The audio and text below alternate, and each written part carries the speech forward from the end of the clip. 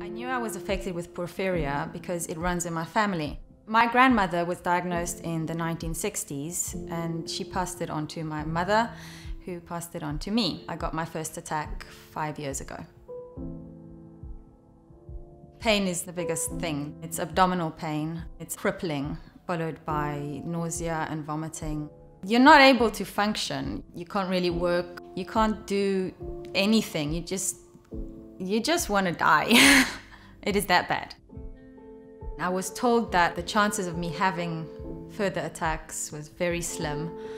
That wasn't the case. I, I ended up with attacks uh, monthly for quite a while, and uh, this disrupted my life.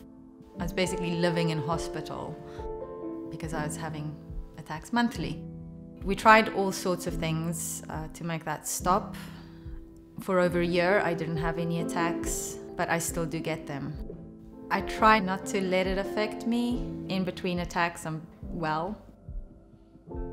It's just that no matter how much I pretend like they're not impacting my life, they still are. And I wish they weren't. I have, you know, friends and family that keep me going.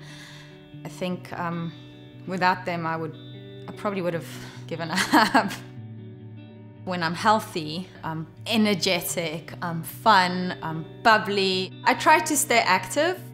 When I'm not healthy, when I have an attack, I, I become unrecognizable.